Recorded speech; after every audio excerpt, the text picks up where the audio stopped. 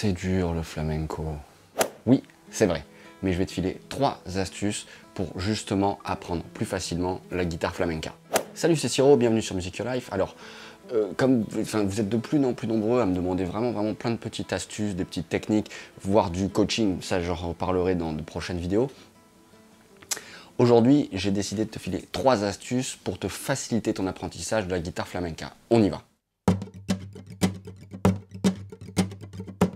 Première astuce, sache que le flamenco, c'est à mon sens un des rares, seuls styles de musique où la guitare, c'est possible, c'est toléré qu'elle frise.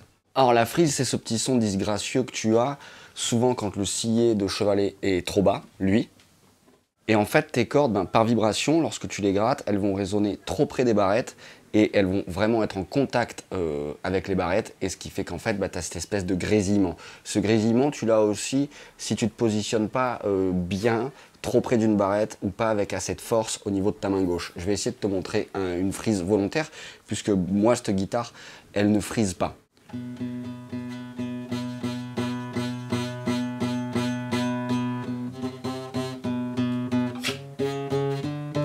Donc tous les guitaristes veulent avoir les cordes le plus près euh, du manche possible parce que ça se comprend, comme ça tu as besoin de faire le moins d'efforts possible au niveau de ta main gauche.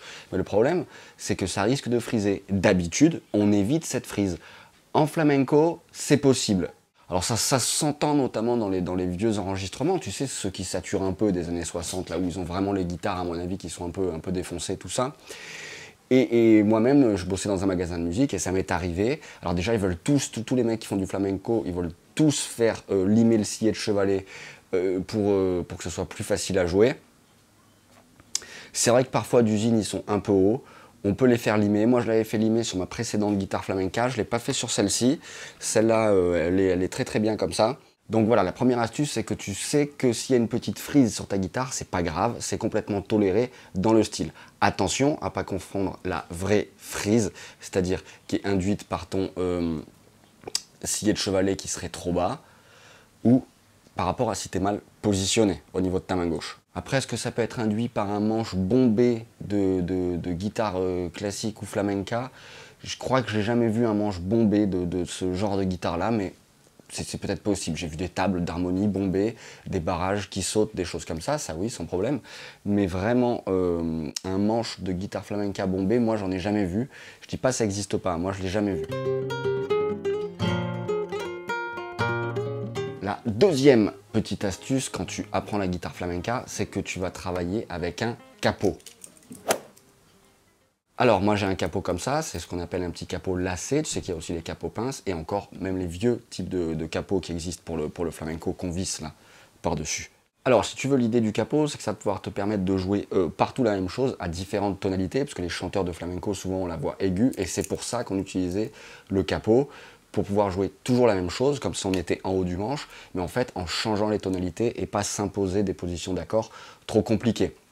L'autre raison, c'est que euh, aussi ça permet de jouer des plans, euh, ce qu'on appelle des falsettas des mélodies, des micro-compositions dans le genre, qui euh, vont te permettre de plus grands écarts, parce que comme tu as 1000 capots par exemple en case 2, 3 ou 4, les endroits où tu vas jouer, si tu veux, les cases sont plus étroites et ça va te permettre de passer des plans plus complexes, sachant que dans le flamenco, souvent en fait, hein, on maintient le barré et on va phraser par-dessus. Attention toutefois, ça a tendance à durcir les cordes au niveau de la main droite. Là par contre, c'est un peu plus complexe, sachant qu'on joue déjà près du chevalet et non pas au-dessus de la rosace, c'est-à-dire parce qu'on a plus de claquants et les cordes, on a la sensation qu'elles répondent mieux sous les doigts, il y a plus de, tension, eh ben, le capot c'est encore plus tendu. Donc l'avantage du capot, c'est que ça te rapproche quand même considérablement les cordes du manche, et les cases dans lesquelles tu vas jouer du coup sont plus étroites. Par contre, tu condamnes toute la partie avant, hein, naturellement, ça, ça marche pas.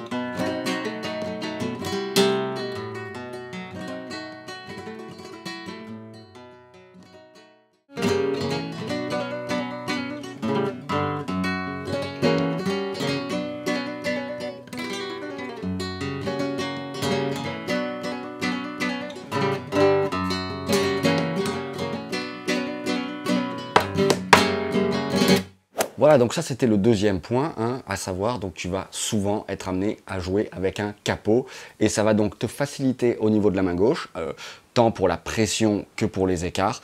Par contre, attention au niveau de la main droite, les cordes sont un peu plus tendues.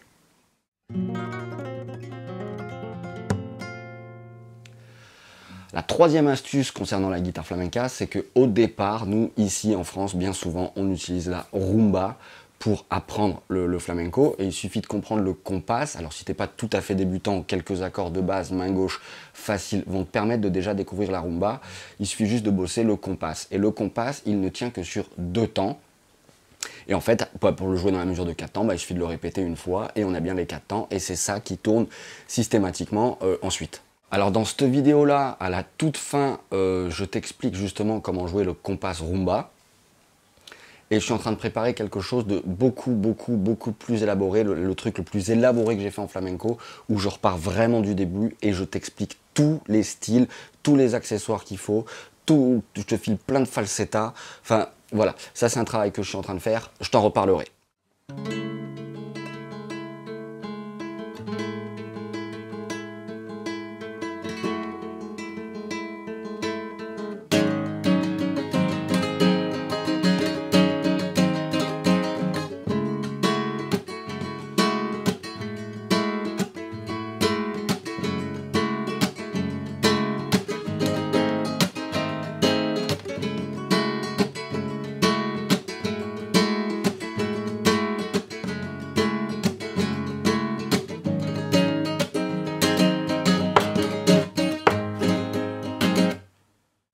Nous en France, c'est vrai, on, commence très souvent par la rumba, ce qui n'est pas le cas des étudiants euh, andalous. Eux, lorsqu'ils démarrent, c'est plutôt sur la soléa.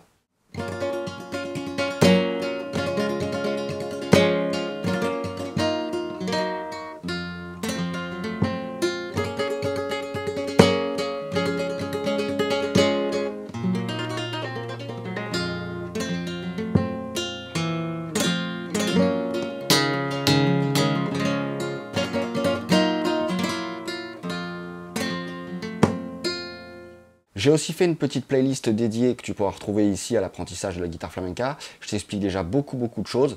Ça peut, ça peut te brancher. Je crois que j'avais déjà fait une vidéo sur la rumba, je sais pas. Sinon, comme je te dis dans une des dernières vidéos que je te mettrai en lien, je t'explique tout le motif rumba. Donc je t'encourage à aller voir. Quoi? Ok, je te le refais voir vite fait. Celui que je joue en ce moment, je l'aime beaucoup parce qu'il est assez libre. J'en ai bossé plein d'autres, mais qui étaient parfois un peu plus pénibles, euh, c'est-à-dire trop mécaniques et on n'en sortait pas. Si on voulait envisager un rasgueo ou une petite embellie, c'était compliqué. Donc là, en ce moment, je joue celui-là, je l'aime beaucoup. Et voilà, il permet justement, il n'est pas trop rigide si tu veux, on peut intégrer d'autres euh, mouvements main droite. Donc moi, je fais pouce en bas, pouce en haut, majeur annulaire en bas, pouce en haut. Voilà pour mes quatre premiers coups qui sont quatre premières doubles, donc elles vont remplir le premier temps avec un accent sur la dernière double. Ok? Les quatre euh, coups d'après, c'est alors le premier c'est une liaison. Donc je, la time en fait la première double en reposant le pouce et ensuite bah, pour les trois doubles croches qui restent, on fait index en haut, index en bas, index en haut. Là j'ai donc mes euh, deux premiers temps, il suffit de les doubler pour avoir ma mesure complète à quatre temps.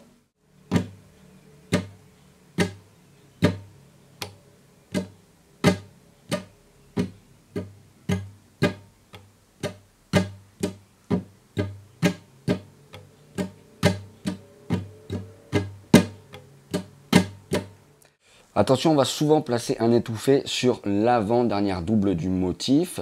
Donc tu as deux groupes de quatre doubles, donc ça voudrait dire bah, la troisième du deuxième groupe. C'est-à-dire...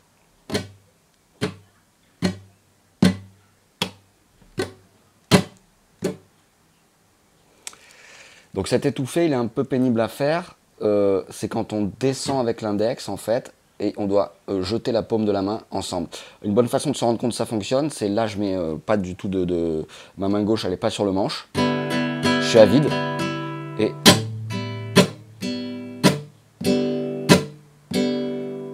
Allez, je te montre une petite rumba, je te montre Entre dos aguas de Paco de Lucia. Quant à moi, je te dis à très vite sur Music Your Life. J'ai plein plein de choses à te proposer très prochainement. Il y a beaucoup de changements en ce moment. Euh, je t'en reparlerai. À bientôt sur Music Your Life. Ciao